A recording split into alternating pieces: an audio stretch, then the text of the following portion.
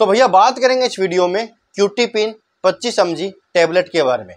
जानेंगे किस टाइप का ड्रग होता है, कौन सी बीमारी में चलता है, इसकी क्या डोज होती है, क्या इसकी कोई आदत पड़ती है, क्या साइड इफ़ेक्ट करती है, कितने मंथ, कितने वीक तक लेना पड़ता है।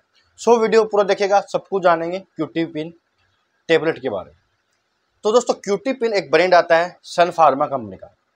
ये कई सारी स्ट्रेंथ मिलता है आपको। पच्चीस एम मिलता है, पचास एम मिलता है सौ एम मिलता है और दो सौ तक ये आता है। तो एलोपैथिक मेडिसिन के अंदर आता है, डॉक्टर की सलाह से लिया जाता है, सेल्फ यूज़ नहीं करना है। देखिए, इस दवा की कोई आदत वगैरह नहीं पड़ती है। डॉक्टर ने दी है तो आप बेफिक्र होकर इसका यूज़ कर सकते हैं।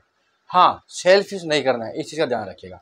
बाकी काफ़ी अच्छी दवा है, कोई आदत नहीं पड़ता, कोई साइड इफ़ेक्ट भी नहीं करती है। तो जो साइड इफ़ेक्ट करती है, उसके बारे में वीडियो में जानेंगे।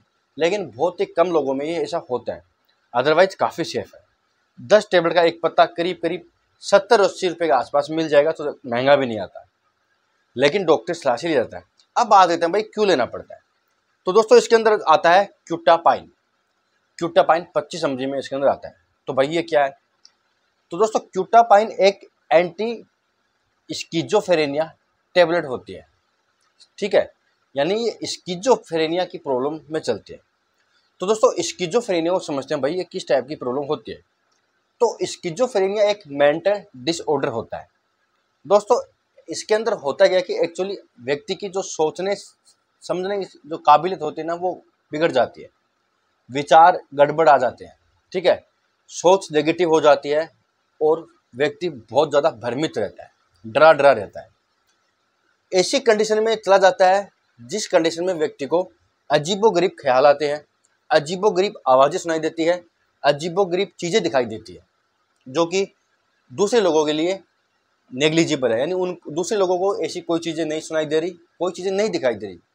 लेकिन जो व्यक्ति स्किजोफ्रेनी प्रॉब्लम होता है, उसको अजीबो गरीब चीज़ें दिखाई देगी, सुनाई देगी, और उसका व्यवहार थोड़ा अलग हो जाएगा गलत सलत हो जाएगा, सोचने शक्ति खत्म हो जाएगी, या दूसरे तरीके से सोचने लगेगा नेगेटिव थोड़ा जाएगा। तो काफ़ी ज़्यादा ख़राब प्रॉब्लम होती है स्किजोफ्रेनिया लेकिन इसके अंदर अलग अलग स्टेज होती है।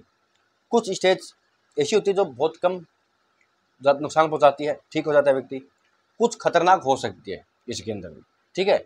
लेकिन बहुत कम लोगों में ऐसा होता है। बाकी ये दवा अगर डॉक्टर ने दी है तो आप ठीक हो सकते हैं, घबराने की बात नहीं है।